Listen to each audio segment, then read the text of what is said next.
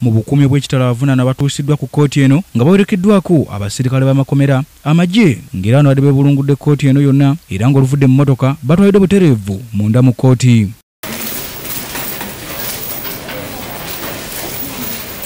Mu kuyingizibwa mu kkooti abavunaana baggiddwako empingu ku mikono wadde ng'ez'okumagulu zisigaddeko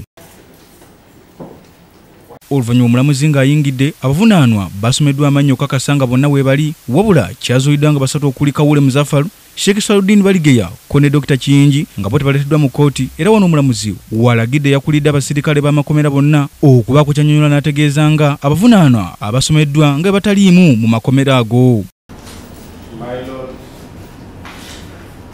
that accused person is not us.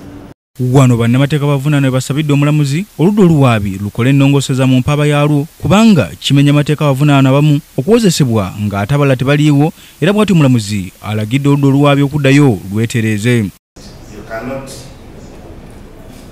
have a trial in an accused absence.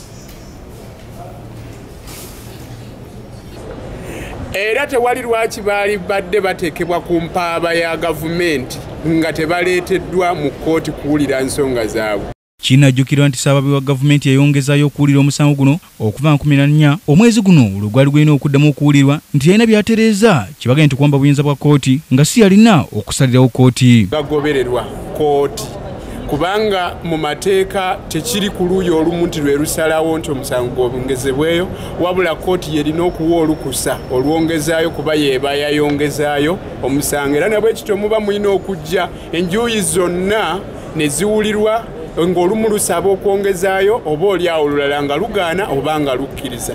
Wabula oludda oluwabi nga lukulembeddwamu tomasi lutegeezezza kkooti nga buli olwetegefu okugenda mu maaso n'omusango era nti lwetaaga akadde okuyanjulira bannamateeka b'abavunaanwa obujulizi bwe balinawo. Era wano omulamuzi wasinzidde n'awo amateeka amalala nga bannamateeka we balina okusisinkana okusalawo ku kye bagenda okukkaanyaako nga batambuza omusango guno era kkooti n'agyongerayo okutonga ennaku z'omwezi abiri omwezi ogujja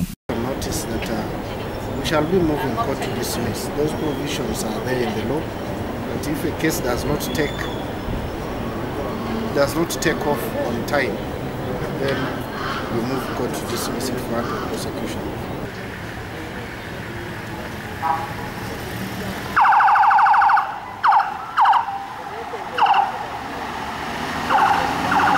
Mu ngeri y'emu oludda oluwabi oluli mu musango gwa suzan magala lwanjulidde kkooti ya buganda road. Omuvubuka musa abasi atemera mu myaka 23 egy'obukulu ng'onaasomedde emisango ebiri nga gyonna gyekuusa kukola ettemu ku suzan magala. We twogerera abagambibwa okutta suzan magala baweze ekkumi nga kkooti eno yakuddamu okutulanga ennaku z'omwezi 28 mwezi ogujja. Matovu livingstone ktv amalindirire